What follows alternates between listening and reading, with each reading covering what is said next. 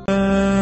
خداوند عالم نے حضرت آدم علیہ السلام کے ہمراہ ایک سو چالیس پھل اور میوجات جنت سے زمین پر بھیجے۔ ان میں سے چالیس وہ پھل تھے جو کہ مکمل طور پر کھائے جاتے تھے اور ان کا کوئی حصہ نہیں پھینکا جاتا تھا۔ ان میں انجیر و انگور وغیرہ شامل تھے اور چالیس قسم کے پھل ایسے تھے کہ جن کا ظاہری حصہ پھینک دیا جاتا تھا اور اندرونی حصہ کھایا جاتا تھا، جیسے بادام، اخروٹ اور فندق وغیرہ۔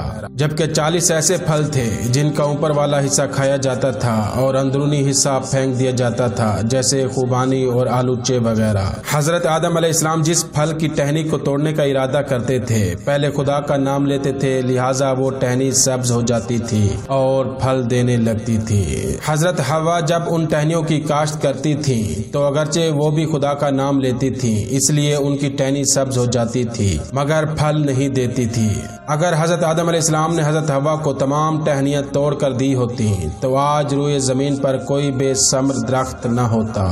حضرت آدم علیہ السلام جس ٹہنی کی کاشت کرنا چاہتے تھے، شیطان کوئی مخالفت نہ کرتا تھا، لیکن جب انگور اور کھجور لگانے کا وقت آیا تو شیطان نے کہا، مجھے بھی شریک کرو اور ان درختوں سے مجھے بھی حصہ دو، ورنہ میں انہیں سر سبز نہیں ہونے دوں گا۔ حضرت آدم علیہ السلام نے فرمایا، صبر کرو، جبرائیل کو آنے دو، وہ ہم دونوں کے درمیان فیصلہ کریں گے۔ جب حضرت جبرائیل آئے تو جناب آدم نے واقعہ کو نقل کیا، تو جبرائیل نے کہا، اسے ان دونوں درختوں میں حصہ دار بناؤ تاکہ تمہیں کوئی نقصان نہ پہنچائے۔ حضرت آدم علیہ السلام نے فرمایا، ان درختوں کا ایک تہائی تمہارا ہوگا۔ تو شیطان نے قبول نہ کیا۔ حضرت آدم علیہ السلام نے کہا، آدھا تمہارا اور آدھا میرا ہوگا۔ تو پھر بھی شیطان راضی نہ ہوا اور کہا کہ اگر اس کا دو تہائی مجھے دو گے، تو مجھے کوئی اعتراض نہ ہوگا۔ حضرت آدم علیہ السلام نے جناب جبرائیل کے اشارے پر قبول کر لیا اور خدا نے اس دن سے حکم فرمایا کہ انگور یا کھجور کے پانی کو ابال آئے۔ تو جب تک اس کا دو تہائی حصہ ضائع نہ ہو جائے۔ وہ ابلیس کا حصہ ہے۔ اس کا پینا حلال نہیں ہوگا اور اس کے لیے نجاست کا حکم ہوگا۔